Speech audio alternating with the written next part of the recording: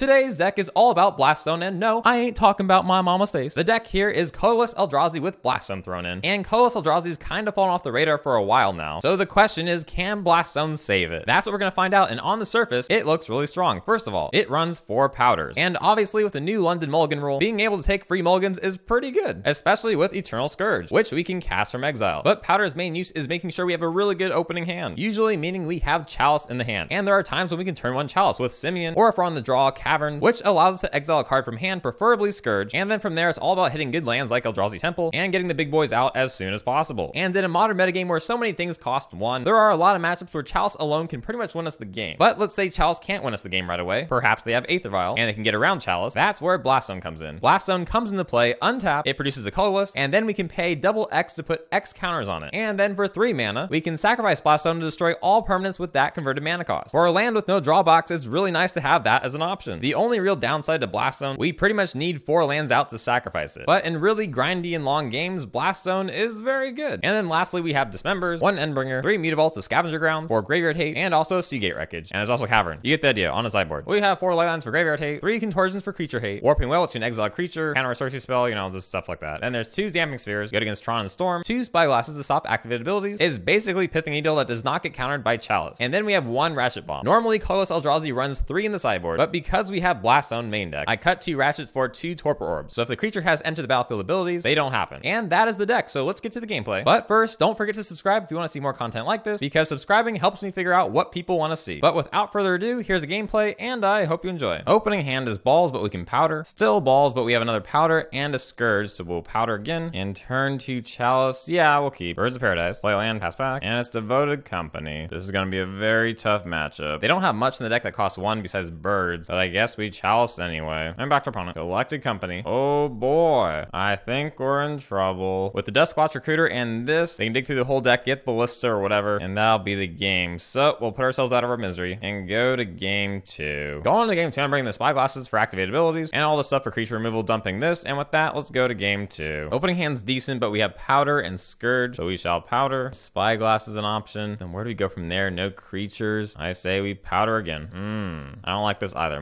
I don't like this either, Mole. All right, at least we have a Temple. Bottoming Wail and a land. Now let's see if our opponent has a better hand than ours. Blue. Aw, that's strange. We shall play Matter Reshaper. And let's see what this blue does. Devoted Druid. And back on our turn, swing for three. And I wouldn't have bottomed their creature removal if I known that was coming. But oh well. We'll see if they have it. Reflector Mage? Sure. Sending that to exile. And opponent passes back to us. Thought Knot Seer, that's pretty good. But first, we'll swing for three. Opponent takes the three. We'll play Thought Knot. And they did have the combo in hand, but no payoff cards besides that. But that requires white. So we'll take that and pass back to our opponent. Opponent plays Birds of Paradise, plays another Druid. And maybe we should hit that land, but they have a second one in hand. Swing for seven. They take seven. And opponent passes back to us, but we'll do this. Blast Zone, as well as a Dismember. Interesting, interesting. A lot of things we can do here, but I think the longer we wait, the better. This could get pretty big, but we could Dismember it. But I say we play the Matter Reshaper this turn. Oh, Chord of Calling. Getting Eldrazi Displacer. How dare they steal our deck? Dismember. Even though they could flicker that, bouncing one of our dudes, but they don't. All right. Opponent plays a land, passes back. And should be wipe them now? We could play this this turn and then Endbringer next turn, but they're already at six life, so I say we'd be aggressive here. Let's blast on them. Debuff their dudes once and then twice, but we have lethal, so I, I don't know what that was for. Hooray for the power of math. The only change for game three is I'm gonna get rid of one Mimics, put in a Gemstone Caverns, and with that, let's go to game three. Opening hand, one land, but we have a powder and a scourge, so we powder, and we can turn one Ratchet Bomb, but the rest of our hand is balls, so we'll powder again, and powder again because we have scourge. Interesting. We have a Temple Caverns. Yeah, we'll keep playing that, exiling that. Birds of Paradise. Do we be a douche and hit him now? Yeah, it seems like fun. And oh, look at that. So we'll play a Scourge from Exile and pass back. The Zero Remedies. Now here's where things get grande. We can play the Smasher, which feels like the right play. We'll be tapping out, unable to play this, but I think that's fine because Druid comes into play tapped. Uh, let's go with that. Smasher swinging for eight. They go to 11, back to them. And Knight of Autumn.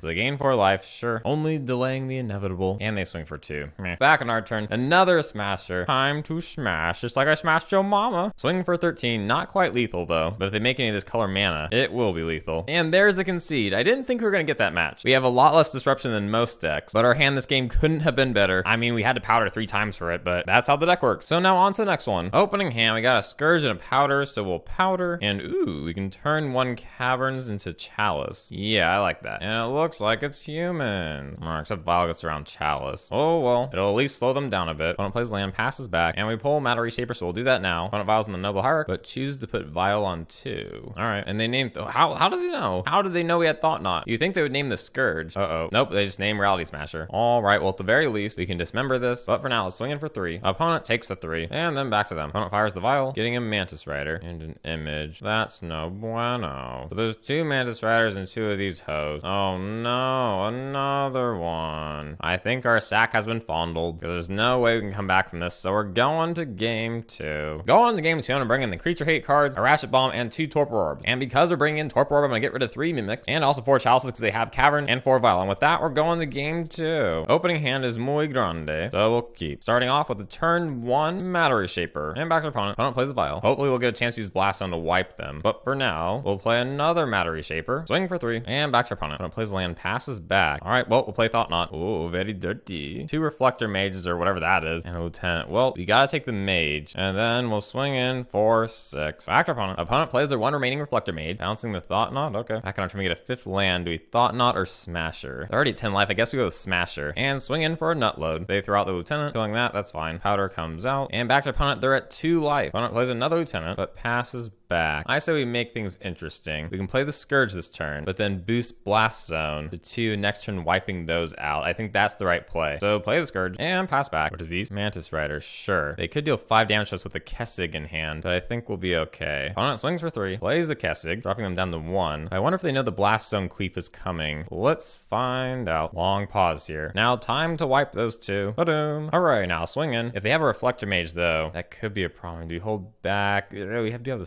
Smasher. I think it's worth the trade. Yeah, another Reflector. Erg. The one will go to Jesus, but these two trade. I think that's an okay trade. Eldrazi Mimic, Battlefield, and opponent swings at the team. So as long as they don't hit anything with the Horizon Canopy, we should have it here. We shall see. And we actually got it. Okay. So Blast Zone actually did something that game. I'm happy about that. But now on to game three. Game three, no changes to sideboard. We have a powder, but we also have a Torpor Orb. Pretty good, so we'll keep it. We also have two temples. What is these? Island with no vial. Huh. They kept seven cards. Maybe their hand's really good. Like a Kitesail Freebooter kind of good. What? What is this madness? We'll try it. Torpor Orb. If this hits though, oh, no more Reflector Mages for you. No more Thalia's Lieutenant. No more Champion of the Parish. Mm, but you have Mantis Rider. We have Dismember. Okay. Unfortunately, the Thought Knot Seer's exile ability won't work with Torpor, but I still think that's the right move here. We'll Dismember right off the bat, play the Thought Knot Seer, and then next turn we can double Matter Shaper. Oh, but a Phantasmal Image? Okay, okay. And they have Dismember. Arg. I was kind of hoping for an easy victory here, but it looks like that's not going to happen. All right, at least we have the double Matter Shaper. One and two, and back to them. While opponent plays the Freebooter, but Torpor Orb, and back to us. Eternal Scourge. The Thought Knot's really annoying, and we could just swing in, let them kill it, draw a card. Yeah, I see that. Yep, only a powder. That's like the worst thing we could hit. Okay, play the Scourge, and might as well dump our hand, and back to opponent. Opponent plays Whirler Rogue, but with the Torpor Orb, it's not that good. Normally they'd get two tokens, so it's pretty much a 2-2 right now. Ooh, what they doing here? That very derpy dirt, because we can do this and this. Sometimes the Syndrome is strong with all of us, so we draw a card, get a Thought Knot Seer, play the Thought Knot Seer, and then swing for five. Opponent blocks like that, and pass back. Opponent draws a card, and this again. Okay, opponent hits us for one, and back on our turn, Blast Zone. That could be really good, but for now I say we just push lethal. I'm sure they'll block something, but we'll see how it goes. Oh my gosh. What? Did they take that? Oh, okay. I mean, they could have gotten a second Thought Knot. I guess they're just trying to dig for an extra card. So a lot of digging for both of us. They hit a land, we draw a land, and we hit a Ratchet Bomb. Okay. And then we play Blast Zone. Back to our opponent. Opponent plays Deputy Detention, swings for one, and with this much mana, we can put Blast Zone up to four counters. I suppose the right amount is three. Yeah. We'll also tap this, and we pull another Blast Zone. So we play the Blast Zone, and back to opponent. Opponent plays Thalia's Lieutenant, swings for two. I think that's okay. So we take it, and then move this Blast Zone up to three as well, and then move this up to two. And just remember, a very strange situation. I'm not used to the Blast Zone. It's giving us a lot of options, but I'm also hoping we'll draw a creature soon, because wouldn't that be nice? Opponent swings for three, but I think we fire it now. Kill those two hoes. Oh, that also took out a Torpor Orb. I, I, I feel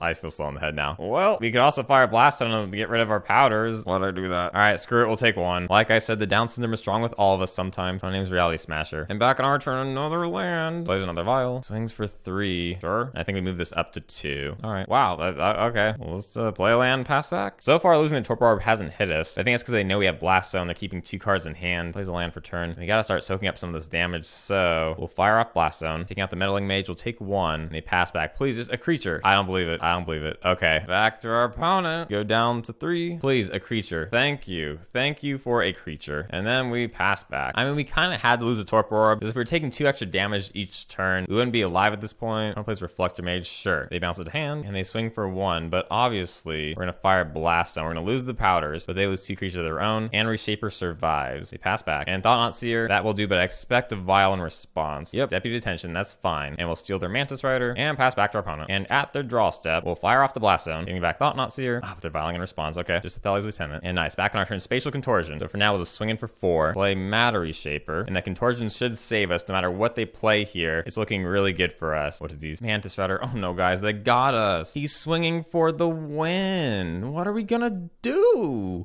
Not today, big boy. Not today. And finally, there's the win. Turn 16. What a marathon. So for sure, Blast Zone won us that one. I kind of made it oopsie and losing the Torpor but if I didn't do that, we would have lost. So it worked out. And if it weren't for the Blast Zone, we wouldn't even have room for Torpor Orb in the sideboard anyway, because usually Colorless Eldrazi runs three Ratchet Bombs in sideboard. But with Blast Zone, we were able to cut two of those for Torpor Orbs. So I think Zone did a good job there. But now on to the next one. Opening hand is balls, so we're gonna mull. Oh, this is still balls, and not the good kind, so we're gonna mull. And we can turn them on Chalice, so we'll keep it. Bottom, bottom. And it could be Death Shadow. Please be Death Shadow. Please no discard. Mm. My Anus has been fondled, and not in the good way. All right, let's see how this goes. When it plays land, passes back. We'll play land, pass back to them. When it plays a bobble, and it's definitely a Death Shadow deck. Is this the Angler? Yep, but too bad. And oh, look, we have Chalice. So we'll play the Chalice and see which of us can queef first. what a loser.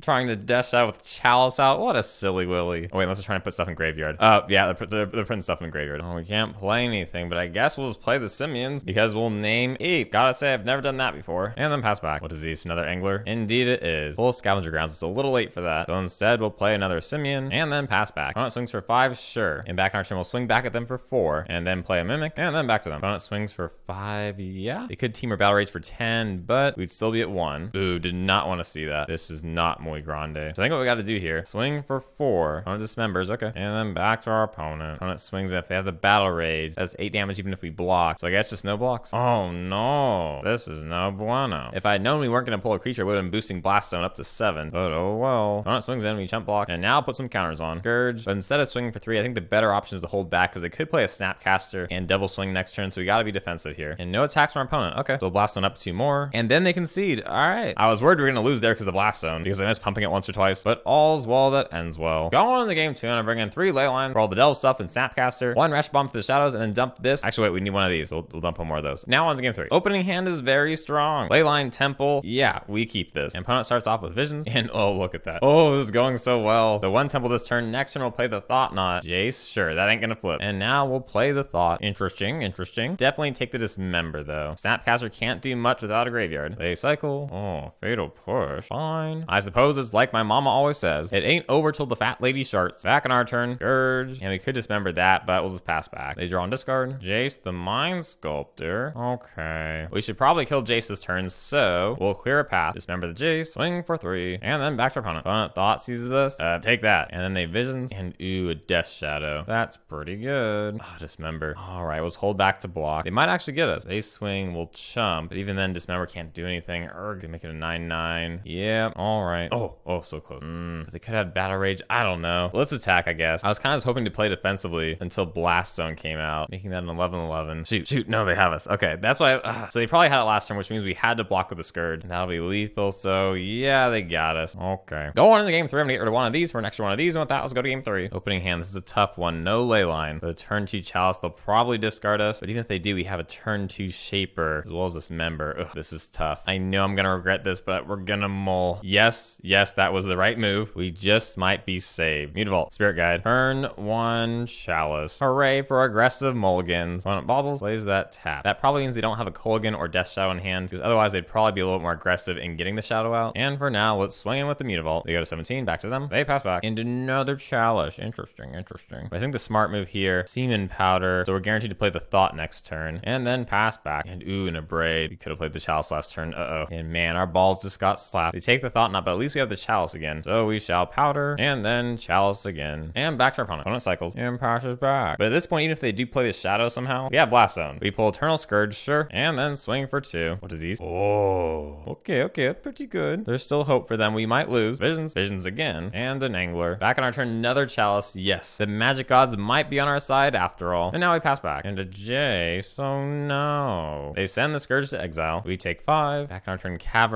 We'll use that to cast this again. And we could take a risk and hit that. They might be out of basics. Yes, Shadow usually only runs one of that and one of that, so I say we go for it. Hit this. Yeah, they're out. So no more Kolaghan's commands. Ooh, but a Liliana. Ah, oh, that's gonna be muy grande. Our Scourge will not have a good time with that. We go down to 10. Ratchet Bomb, but they have 3, 4, and 7. That's not ideal. But we'll play it. I think they got us here. And there's no real point playing the Scourge either with this out. Oh, it swings for 5 again. And there's a land. Okay, they got us. Three chalices, but they're able to take out our Thought Seer. It happens. Good news, big boys. After finishing recording those three matches, I played four more matches to get a better understanding of how the deck performs. And out of seven total matches, the deck had five wins and two losses. That's pretty good. The one other loss came to Jund. Chalice just wasn't very good against them, and they had things like Assassin's Trophy to take out our big dudes. But other than that, things were really good. There are a lot of things that cost one in Modern right now. So Chalice did very well, Blast Zone did very well, and with most removal cards costing one, it's very hard to take out our big dudes. So overall, things are looking really good for Colorless Eldrazi, so I would call it a success. But that is all for now. Don't forget to subscribe if you want to see more content like this, and as always, I hope you have a great day.